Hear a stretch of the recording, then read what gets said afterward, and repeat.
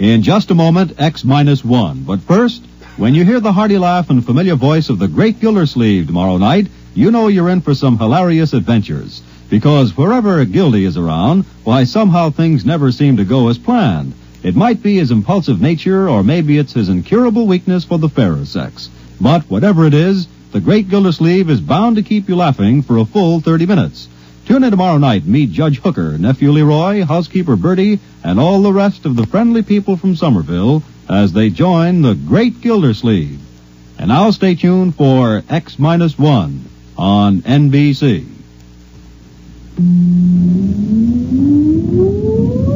Countdown for blast off. X minus five, four, three, two, X minus one, fire.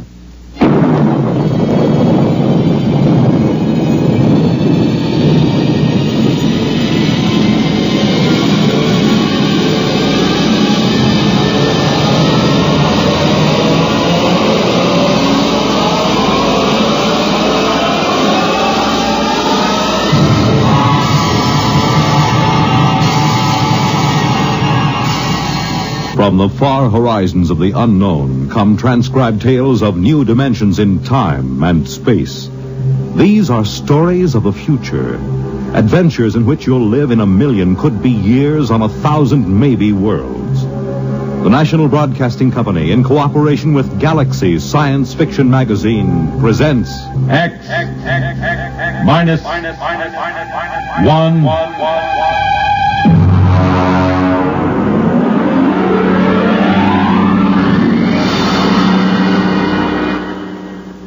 Tonight's story Junkyard by Clifford D. Simak.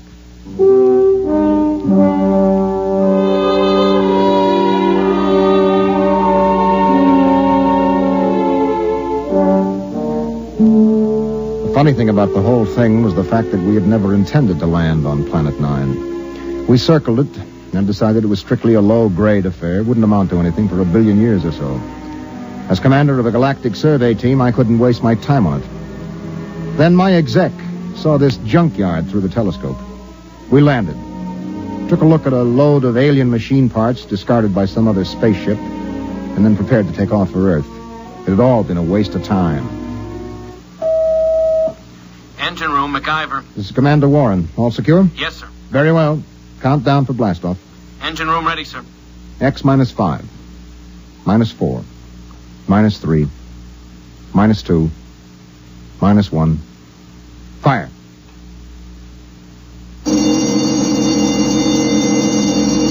Mac, what's wrong down there? Well, I, I don't know, sir. Brady, get the data analyzer ready. We'll have to correct for a new takeoff time. It's the first time I ever heard of engine failure before takeoff. Well, better before than after. Engine room? Yes, sir. What's happening? You boys ready yet? No, sir. Well, burn it, man. Get going. I want those engines started. Sir, What is it? I I don't quite know what to say. Well, say something or I'll have you busted. we can't start the engines, Commander. At least I can't. Well, why not? I don't know. Klein, put Klein on. Lieutenant Klein, sir. Lieutenant, what is going on down there? Is there something wrong with the engines? No, sir. I've double-checked them. Well, then let's get them heated up or we'll be on this god-forsaken planet the rest of our lives. We can't do it, sir. Klein, suppose you tell me exactly why you can't start the engines. Can you do that? Yes, sir. All right, why? Because, sir, we can't remember how. What? Yes, sir. We've forgotten how to start the engine. Lieutenant, report up here in one minute. Bring Dr. Spencer with you. Yes, sir. All right, Brady, where have you got it? Got what, Ira? Don't play innocent. You and I have been doing planet surveys together for 15 years. You carry enough dead weight in grain alcohol on every trip to keep you happy for a million light years. Now, obviously, the boys in the engine room have gotten into it. Impossible. Where is it? I got a few fifths in my locker, but nobody's touched it. I checked a few minutes ago. Well, then somebody has got some in the engine room. Come in. Lieutenant Klein, sir, I brought Dr. Spencer as ordered. Hello, Doc. Did Klein here tell you what's going on? He did.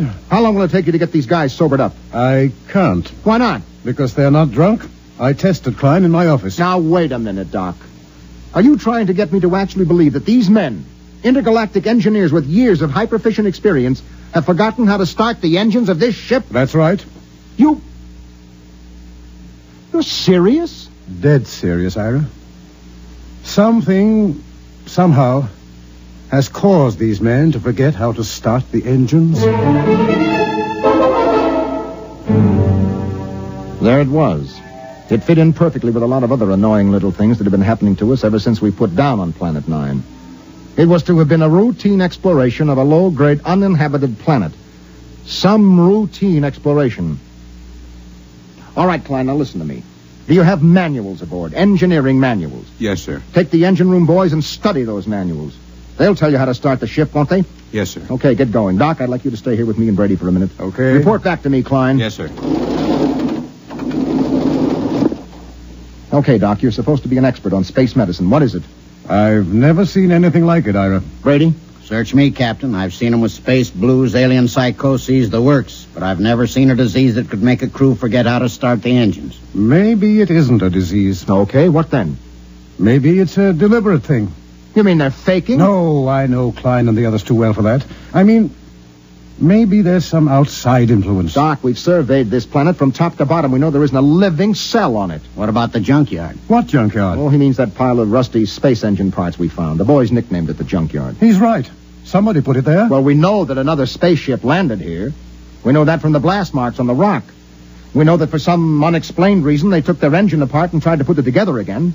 We know they succeeded in building a much simpler engine, leaving a lot of spare parts, and we know that they took off. The blast off marks tell us that, too. What we don't know is whether or not they left somebody behind. Or something. What about that stone tower, Ira? The boys looked it over. It's just a pile of stones. They probably threw them together as a shelter while they were rebuilding their engine. Oh, that sounds too simple. I don't like that tower, Ira. Why not? I don't know. It was scary. It had that black look about it. The smell of death. I felt it when I walked past with Klein and MacIver. Oh, that's the Celt in you. Banshees and spooks. I still don't like it. I need a drink. Skip it.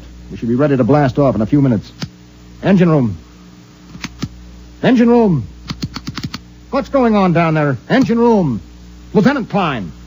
Daddy? Is that you, Daddy? Did you bring me a present? Daddy, I'm scared.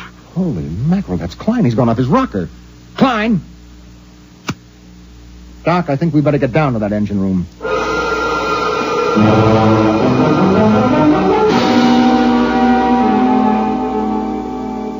When Doc examined Klein, he found him to have the mind and memory of a six-year-old. That's it, Ira. Something drained Klein of his memory. And that's as much as I can tell you. Well, that's a big help. Here's the manual he was reading. Well, at least we can follow this manual and get off this stinking planet. Hand it to me. Right here.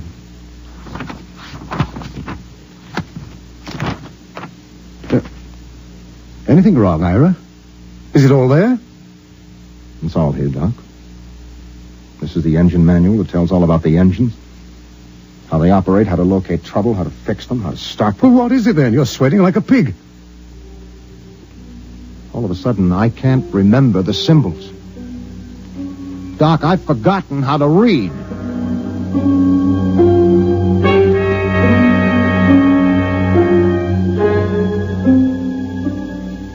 I left the engine room and went out through the lock to stand on the outside platform of the ship. I looked over the junkyard where the metal of the rusted engine parts gleamed. There was a riddle there. A riddle we hadn't been able to figure out. Why had an alien spaceship landed here, ripped out its engines, and then put together a simple, less efficient engine and taken off again? And they had worked in an awful hurry, judging by the mess they left. Why? Why? Mind if I join you, Ira? No, help yourself, Doc. How's Klein? We've made him some toys. He's playing with them. I've assigned Mac to see that he doesn't hurt himself. Doc, Yes? have you got any ideas on what's happening to us? Well, man experiences incidents, gathers knowledge, knows emotions. Then, as he grows older, he begins to forget those experiences, forget that knowledge. That's what life is a long series of forgettings. Here on Nine, in some impossible way, the forgetting is speeded up. It happens overnight. Oh, there's more to it than that. Well, I'm going back to my cabin and try to get some rest.